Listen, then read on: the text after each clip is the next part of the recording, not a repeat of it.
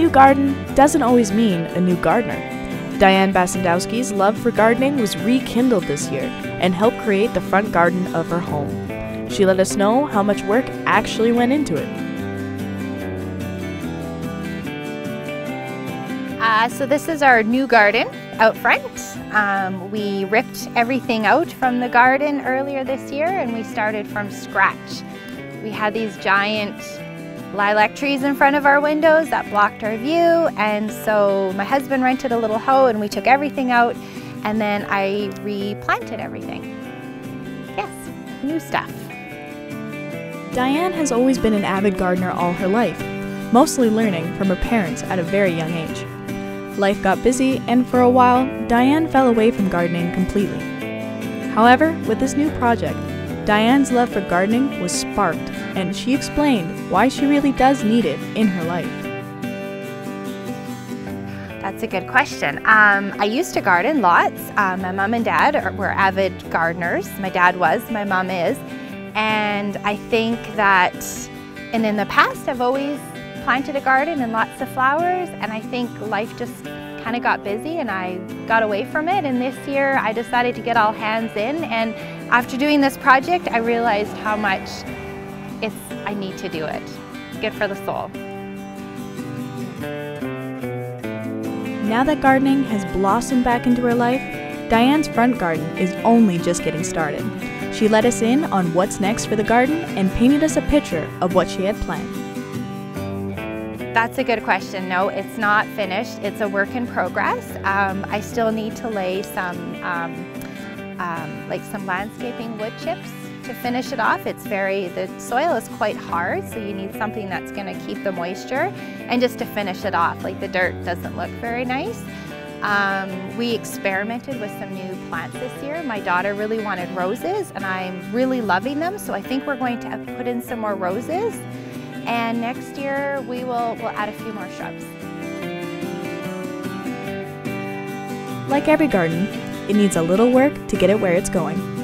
According to Diane, with these simple steps, you'll get there in no time. Oh, I think it's quite simple, and maybe that's just the way that I was taught. You get your flower, my dad taught me how to dig the hole. Um, you put your flower in, you need a bit of fertilizer, and my mom tells me that you must water, water, water, water regularly, and that's it. I think it's, I find it quite simple. Or maybe I just don't know a lot about it yet.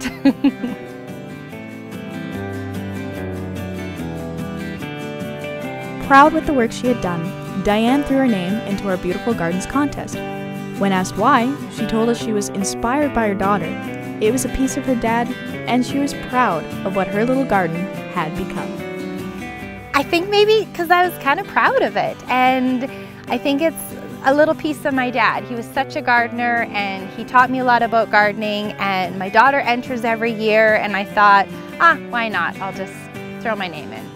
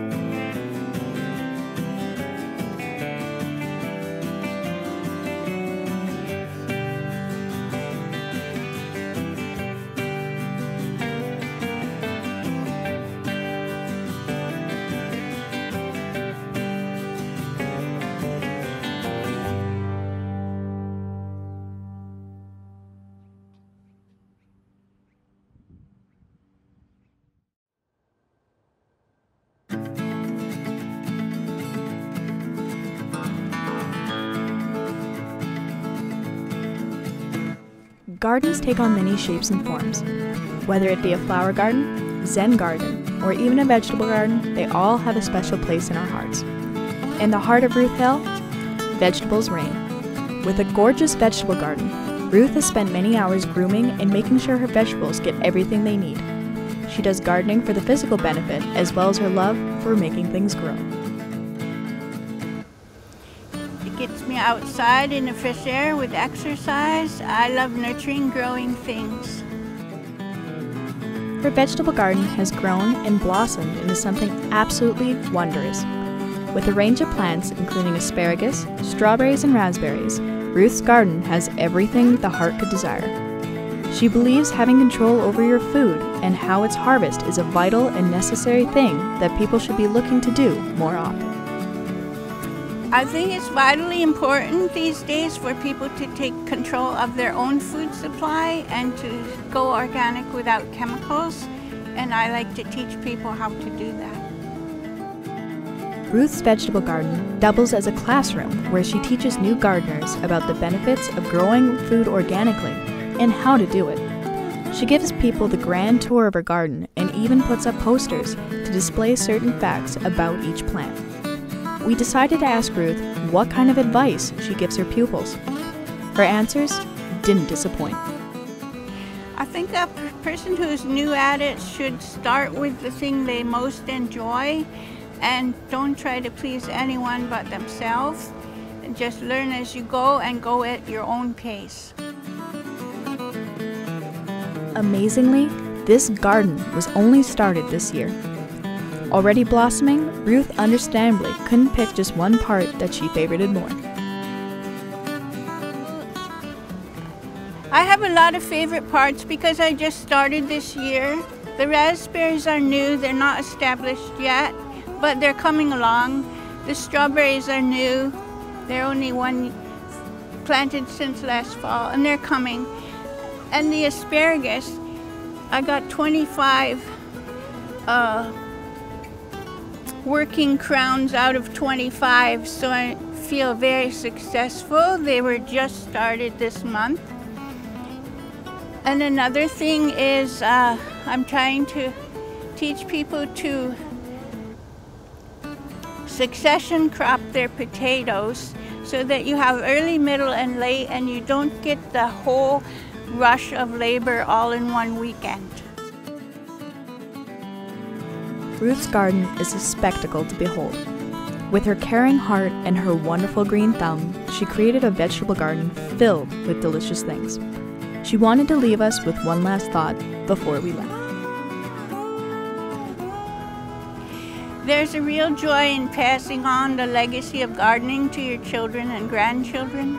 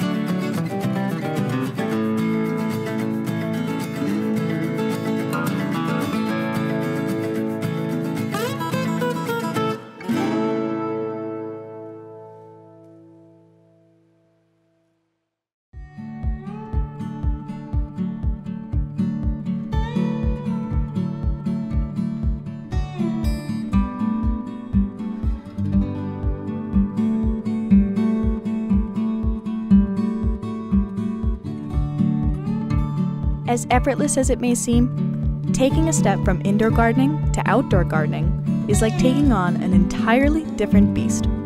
Sandra Jakes has always been surrounded by gardening, but decided to take the step to outdoor gardening a few years back, and she hasn't looked back since.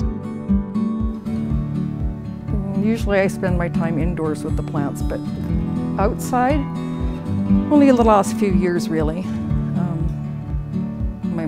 wonderful gardens when we were growing up, but I've been working and uh, doing other things, so the garden outside wasn't the priority, but I'm liking it. Sometimes, trying to find the time for gardening can be hard.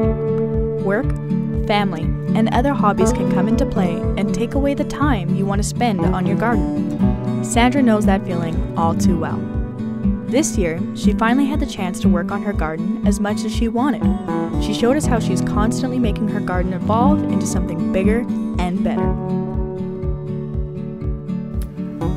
I love gardening. This is the first year I've been able to spend pretty much all the time that I want gardening. I enjoy it lots, um, so I'm every year I'm tweaking it. Continue to try and make it evolve and add the temporary ones, the flower baskets and the hanging baskets that I like so much because they provide the, cup, uh, the color and the different aspect to it. And all the greenery is just lovely. I love the flowers that blossom and puttering outside. With her garden, Sandra has tried a multitude of different things to make it the unique and colorful garden it is today. And of course, we had to ask her what her favorite part was. Well, I'm really pleased with my ones that I planted this year, the hanging, no, not the hanging basket. They would be hanging if they weren't in that lovely planter. And this planter, and then the ones over there that are nice and tall and spiky and blue.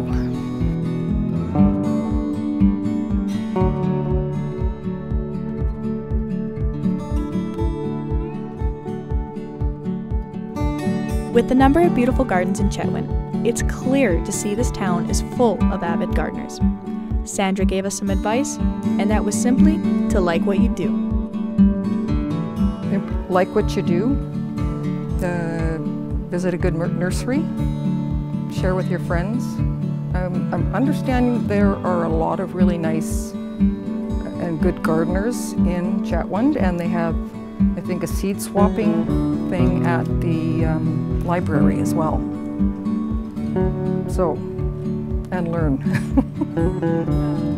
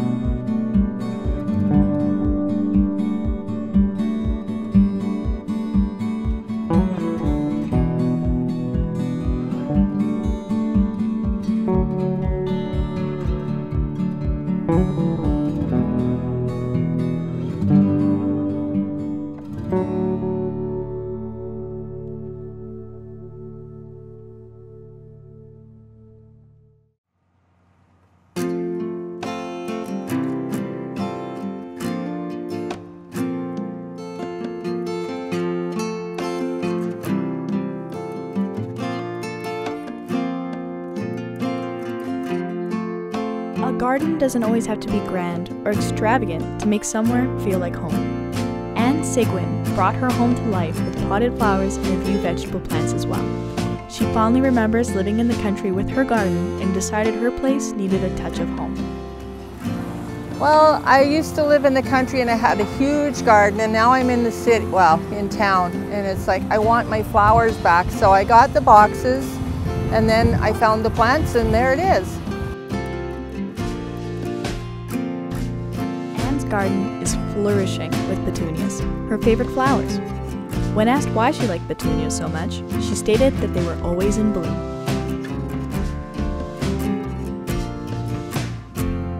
Don't be fooled into thinking a small garden is less work. Anne explained that even with her potted plants, she still faced unique troubles with her garden. This made Anne a quick and efficient problem solver.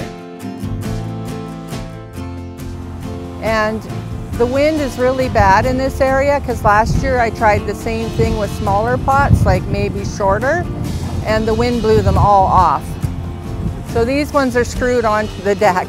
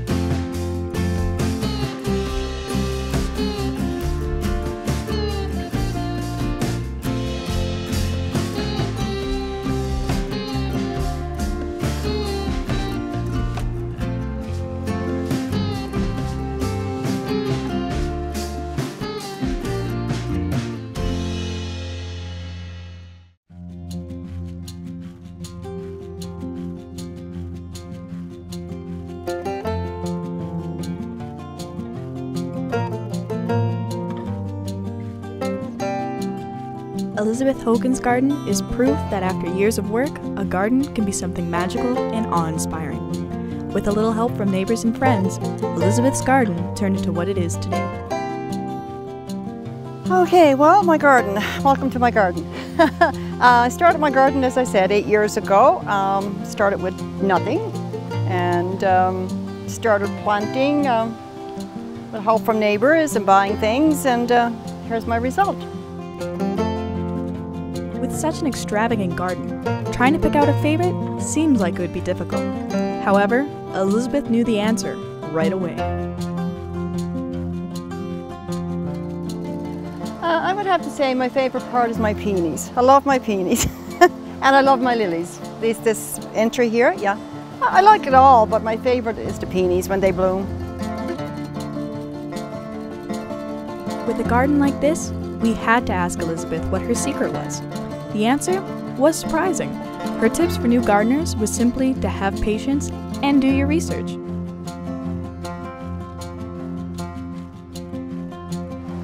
Patience, a lot of patience. Um, yeah, like when I first started gardening, I had, like I said, I had a lot of help from the uh, from the, my neighbors and uh, friends, and and they were saying like you have to be very patient and uh, uh, watching, you know. And I love to watch things grow, but as I said, patience and um, uh, a lot of research too. You, you know what, Mr. Google is great. What you don't know, you ask Mr. Google, and he educates you on a lot of things. My husband is very avid on reading up on um, maintenance, how to maintain your garden, you know, what types of um, flowers are good for your zones, which, um, you know, uh, we live in the north after all, so a lot of things I would love to plant doesn't survive here. So, yeah, so that would be about my advice. Patience. Originally from Newfoundland, Elizabeth has been gardening for almost all of her life. Her entire family gardens, and she learned most of her tips and tricks from them. The biggest challenge she's had to face so far was moving up to northern BC and having to learn what plants can grow here and what ones can't.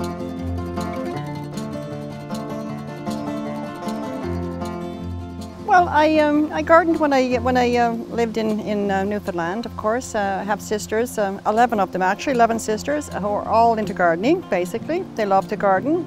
I grew up in a very rural, small area where my dad was uh, pretty good at, um, and my mom, we grew our own vegetable gardens and she loved to plant. So a lot of little tips I picked up from there. But then when you move to a different, as I said, different zone, like we're living in the north, a lot of the things change. Um, and I still kept that interest. So, and my husband, he loves to garden as well. So between the two of us, we uh, we have picked up a lot of uh, uh, you know the common interests in the gardening, and, and I, I, just love it. It's for me, it's a, it's very therapeutic. I, I, I, can come out in the evenings after a long day and just start weeding and just get on my knees here and just it's like a meditation to me. It's a it's a stress release. It's I just love it. It's, it's just you know, and, and this is my result. So when I see this, it's like yeah, it's all worth it at the end of the day, it's worth it. Yes.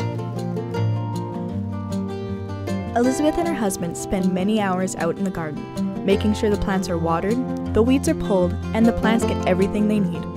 It's worth every minute, according to Elizabeth, especially since the payout is seeing something this remarkable and beautiful every day.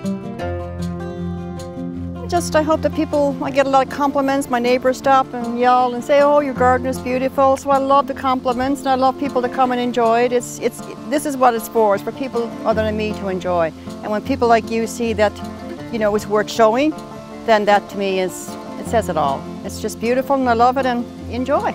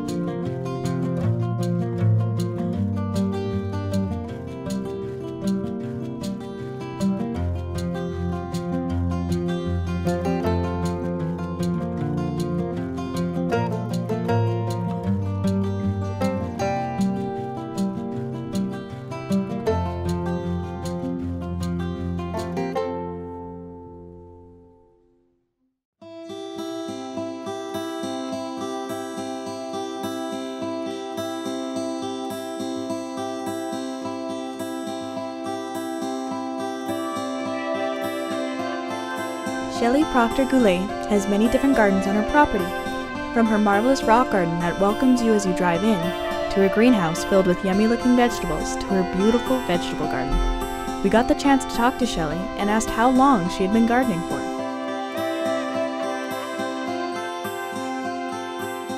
I've been I've been living here for 18 years, so I've been doing this particular garden probably at least 10. It I expanded it this year and then had some 10 year soil, 10 year old soil delivered about two years ago. So it seems to really like that new soil. So yeah, I've been just kind of trying to get it bigger, a little bit bigger. And this year I didn't plant everything really close together like I usually do. Gardens are notorious for their upkeep and hard work.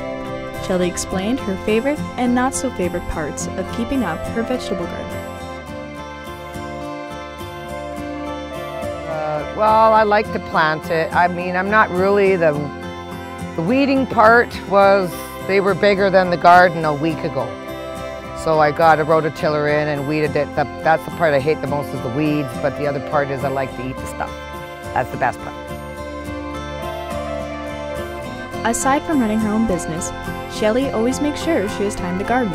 Her tips to new gardeners is just not to give up and start small if you can.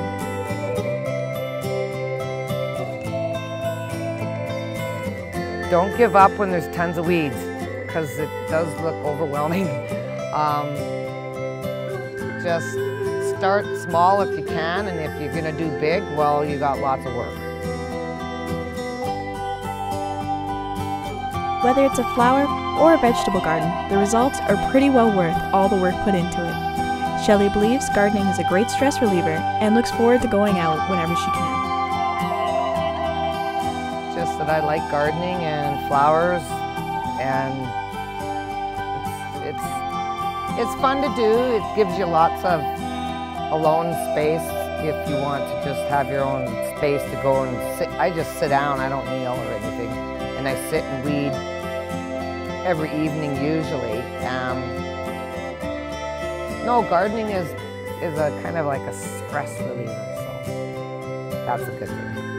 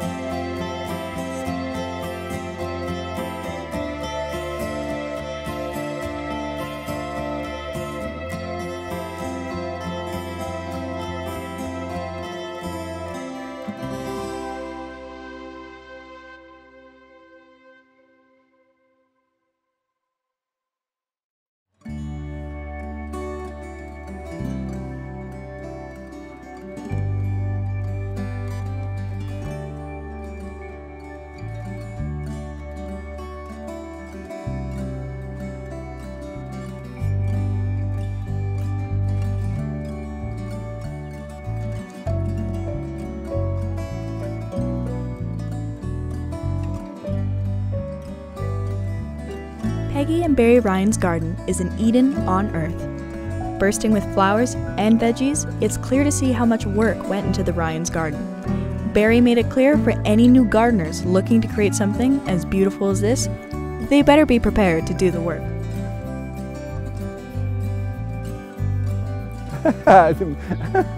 Me, I have tips for gardeners? No, I don't have too many tips. That going to get into it, got to do a lot of work. Barry explained that his wife was the mastermind behind what flowers to get, where they would be planted, and overall just how the garden would look. Barry is mostly in charge of helping his wife plant the flowers and the vegetables, and helping maintain them. Don't be fooled in thinking this garden was a summer of work. Barry explained how this garden has been 20 years in the making.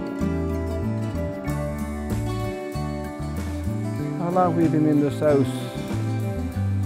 Over 20 years in this house, so this garden's been here over 20 years. Well, we've been doing this since we've been out. There was a bit of a garden here, I think. This part here, not this part here. We put this all in. So this little part down here and this part over here was uh, here, but not not like it is now. I mean, there's a part of a garden here, but everything else we put in. So we put in, say, 75% of the garden.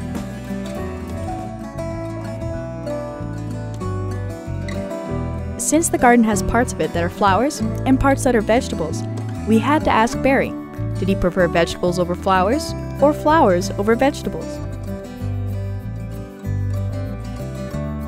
I, I, I like doing the vegetables for me. My wife does vegetables too, but for me it's just vegetables, you just leave them. Like potatoes for instance, right now, just I don't do anything with them basically, I just leave them there. They're easiest, but flowers a lot of work, but a lot prettier too.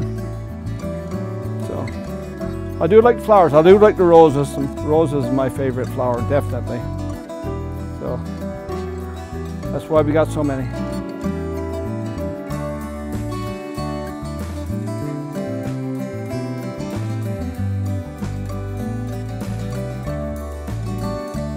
Peggy and Barry both work on the garden together, accomplishing something unique and absolutely beautiful.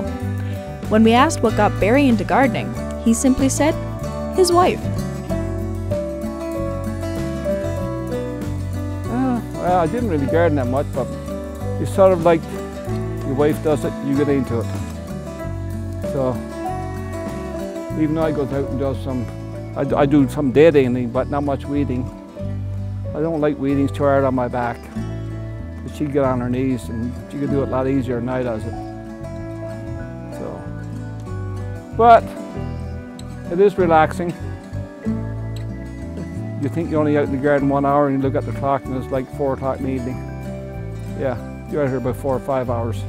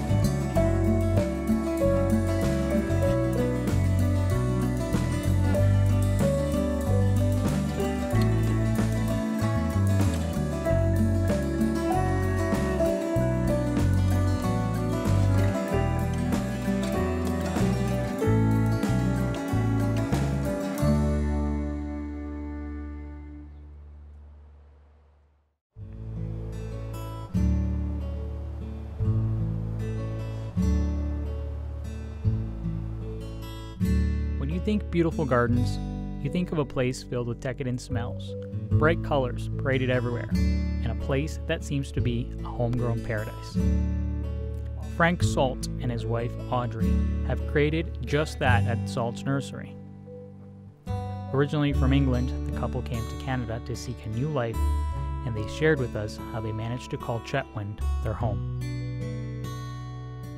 Yeah, we came to uh, Canada in uh, May of '66, and uh, we went, we first landed in Toronto, and we was there for uh, two or three weeks, and we didn't like it. So I had a we had uh, two or three hundred dollars left enough for a train fare, and we got on the train to uh, to Vancouver, which there was me and my wife Audrey, and two daughters, Julie and Jackie, and she was pregnant with Joanne. I was six months. Six months pregnant with uh, Joanne, yeah. So we get to Vancouver and we get off the train. We stood on the, I don't know whether you've been on the station.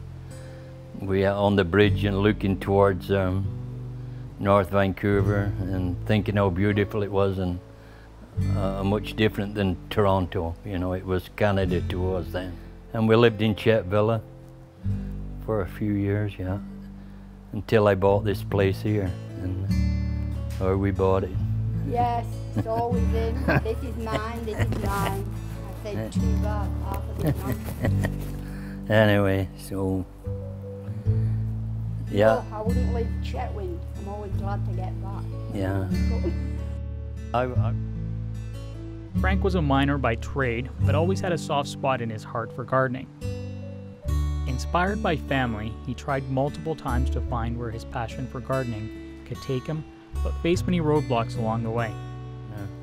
Well, your mum had a big garden. Yeah, my mother had a big garden, and and uh, you know th there was an old greenhouse in the middle of a field, and I always wanted to go fix it. So we asked the farmer if we could fix it up, and it had brick walls, four feet, you know, four foot brick walls. It was about 40 foot long by 25 feet.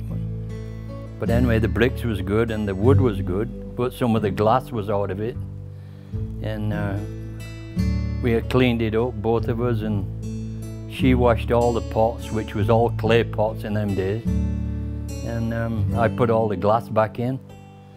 And we were just ready to go, and then the bloody farmer came and said, we're going to sell it. Ah, he sold it because he fixed it up. yeah. So that really knocked me down for quite a while. And, and uh, you know, I just wanted, I didn't know what I wanted to. So I, I, thought I wanted to grow mushrooms. So then I was looking for a barn to, to grow mushrooms and, you know, it never ended, you know. Thankfully, Frank got his wish and Salt's Nursery was born. Along with gardening, Frank makes extravagant birdhouses. The Salts are well known for their willingness to help out and donate to Chetwynd whenever they can. Leah Salt, Frank's granddaughter, explained why this only helped prove the case for Frank receiving the Joanne Roberts Memorial Award. Grandpa's been doing this for longer than I've been alive. Um, he'll say every day that he doesn't deserve anything, it's just what he likes to do. But I think he deserves it because he does. He's the only person he goes out of his way to try and help even the other nurseries in town. He tries to he gives deals to people just if they're short of change, even when they come in here.